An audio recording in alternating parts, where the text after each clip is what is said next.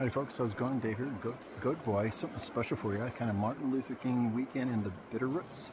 So we're up at Blodgett Creek or something like that. Nice little three and a half mile in to this little bridge thing. Snow, lots of snow.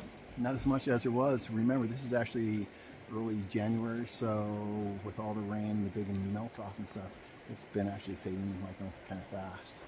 So beautiful area. Let me see if I can get these hills in here. There we go.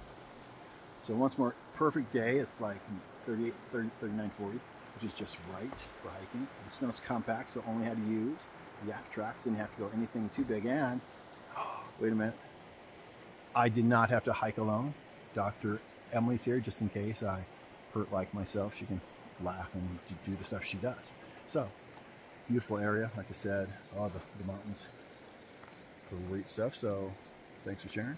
See you again.